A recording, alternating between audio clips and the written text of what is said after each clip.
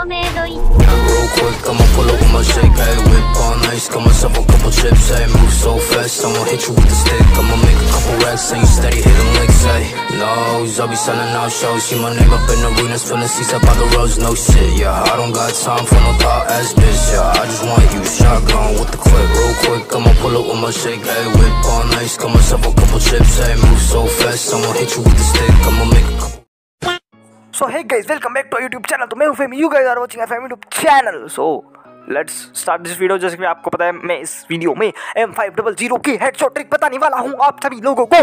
तो इस वीडियो को पूरा ही देखना है। आपको ज़्यादा वीडियो, ज़्यादा बड़ा वीडियो नहीं होगा।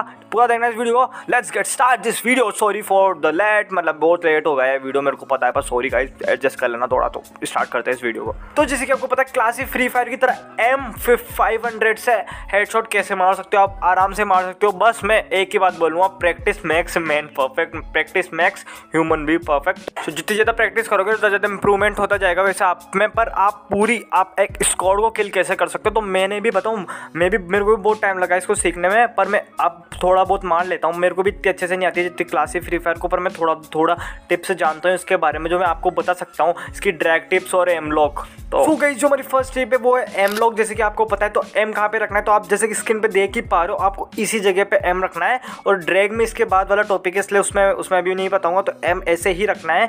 आप लोगों को एंड में एम में एक और चीज़ बता देता हूँ आपको कभी भी अपना जो अपनी जॉयस्टिक रहती है ना उसको मूव करते हुए आपको हेडशॉट मारने की कोशिश नहीं करनी है। बिल्कुल भी बॉडी पे चिपक जाएँगे हेडशॉट आपके। बिल्कुल मैं बिल्कुल पहले से ही करता था पर फिर मैंने जब ट्राई करा ना अच्छे से खेलना जब जाके अच्छे हुआ है तो आपको कभी भी ऐसा नहीं करना है नहीं तो बॉडी पे चिपकेंगे हेडशॉट तो यही था इसमें एम ब्लॉक में तो एम ब्लॉक में आपको सही रखना है तो आप आराम के हेडशॉट लगने लग जाएँगे। क्योंकि अब अपन ट्रैक पे चलेंगे क्योंकि क्लासिक फ्री फायर ने बताऊँ आराम से पूरे फोर फोर बंदों को आराम से मार देते हैं वो भैया।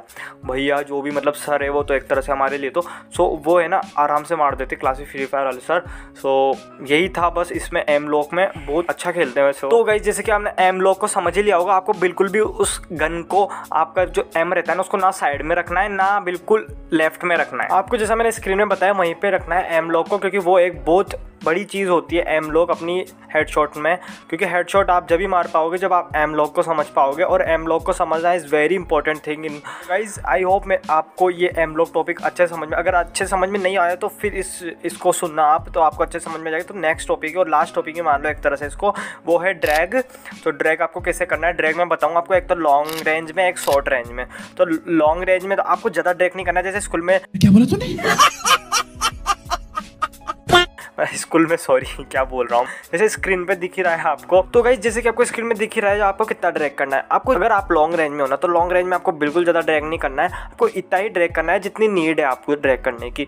फर्स्टली आपको थोड़ा सा देखना है कि उसका हेड कहाँ पे प्लस आपको हमेशा ही वाइट एम ही रखना है। अगर आप वाइट एम नहीं रखोगे ना तो कभी भी हेडशॉट नहीं लगेगा। आपको वाइट एम ही रखना है एंड फिर आपको ड्रैग करना है। जैसे कि मैंने आपको स्क्रीन में बता ही दिया है, ऐसे ही आपको ड्रैग करना है। प्लस इसकी मिस्टेक क्या होती है? कोई मतलब कोई प्लेयर्स क्या करते हैं, वो थोड़ा ज़्यादा ही ड्रैग कर देते हैं, ज़्यादा ऊपर तक। अगर आप लॉन्ग रेंज में ना तो इतना भी ज़्यादा ड्रैग नहीं करना। अगर आप ज़्यादा ड्रैग करोगे ना तो फिर वो गोली रिकॉल मार जाएगी, ऊपर निकल जाती है। ऐसा ही होता है एम फाइव डबल ज़ीरो में। ये बिल्कुल बहुत अच्छी गन है, पर ये थोड़ी बहुत, क्योंकि इसको समझना थोड़ा मुश्किल भी है, क्योंकि पीसी प्लेयर ज़्यादा अच्छे से खेल पाते हैं। क्योंकि क्लासिक फ्री फायर वाले सर है ना अपने, वो पीसी प्लेयर है। जो वो, उनकी एक्यूरेसी और जो अपनी मूवमेंट स्पीड ये सब रहती है ना, वो अच्छी रहती है। इसलिए वो जॉयस्टिक विदाउट यूज़ करे भी बहुत अच्छा मार लेते हैं। तो मैं यही बोलूँ, अगर आप बिगनर हो अभी अभी जस्ट खेलना स्टार्ट थोड़ी थोड़ी जॉयस्टिक यूज़ करना। फिर धीरे धीरे अगर आप अभी थोड़ा अच्छा वन या टू ईयर हो गया आपको खेलते खेलते तो आप आराम से विदाउट जॉयस्टिक मारने की कोशिश, आप मार ही सकते होंगे यार, मेरे को जहाँ तक पता है। तो जैसा कि आपने डायरेक्ट टॉपिक समझ लिया होगा, जितना समझाया, वो बिल्कुल अगर वापस देखना, अगर नहीं समझ में आया तो इसको आपको फॉलो करना है, आप आराम से हेडशॉट मारने लग जाओगे, बस प्रैक्टिस करना है तो आपको।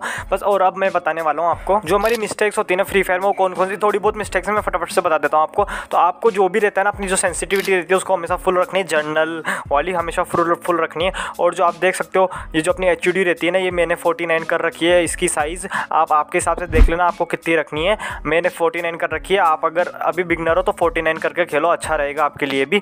और फिर थोड़ी दिन तक खेलने लगोगे ना, जब अच्छा मज़ा आने लग जाएगा। मैंने भी पहले दूसरी पर मैंने 49 पर शिफ्ट हुआ था, फिर मैं जो अच्छी होगी, मैं ज़्यादा बोलूँगा नहीं अब इस पर और अगर आप अभी तक सिक्सटी एफ़ पे नहीं खेलते हो ना तो सिक्सटी एफ़ पे खेलने लग जाओ। मतलब हाई पे करने लग जाओ। एफ़ पी रहते हैं उनको हाई पे खेलने लग जाओ, जिसमें सिक्सटी एफ़ हो जाएगा आपको। उससे एक बहुत अच्छा दिखता है अपन को स्क्रीन में। बहुत अच्छा मतलब एफ़ का मतलब होता है फ्रेम पर सेकेंड तो वो चीज़ एक बहुत अच्छी होती है। आपके हेड अच्छे से कनेक्ट होने लग जाएँगे आपके। उस पर खेलना पक्का। और अगर आपके मोबाइल वोबाइल लैग भी करता है ना तो मैंने एक वीडियो बता दी है, मैं डिस्क्रिप्शन में उसकी लिंक दे दूँ और आई बटन में भी दे दूँ, आप उसको भी देख लेना, अगर आपका मोबाइल लैग करता है थोड़ा बहुत। सो जो हम अब बात कर लेते हैं शॉर्ट रेंज में। शॉर्ट रेंज में कैसे हेडशॉट मार सकते हो? तो जैसे कि आपको देख सकते हैं, मैंने जैसे पहले आपको लॉन्ग रेंज में बताया था, कभी भी आपको एम को रेड नहीं रखना है, आपको एम को हमेशा ही वाइट ही रखना है। जब आपके, और बिल्कुल अगर शॉर्ट में खड़े हो तो आपको ड्रैग करना है ड्रैग करना है ड्रैग करना है। बिल्कुल सिंपल है एम वन एट की तरह ही है।